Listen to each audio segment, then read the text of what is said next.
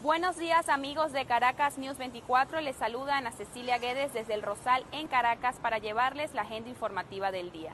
En materia política, el diputado Pedro Infante informará desde la Asamblea Nacional sobre los avances de la ley de trabajo. También universitarios entregarán petitorio de requerimiento al gobierno nacional mediante el Ministerio del Trabajo.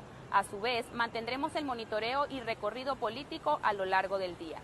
En materia nacional, la Conferencia Episcopal Venezolana realizará una rueda de prensa para tratar el protocolo de prevención de abusos en ambientes eclesiales.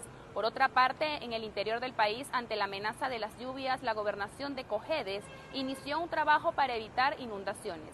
En economía, los trabajadores del hospital universitario exigirán el pago inmediato de sus reivindicaciones y respeto a la autonomía. Estas y otras informaciones serán ampliadas en las distintas plataformas de Caracas News 24.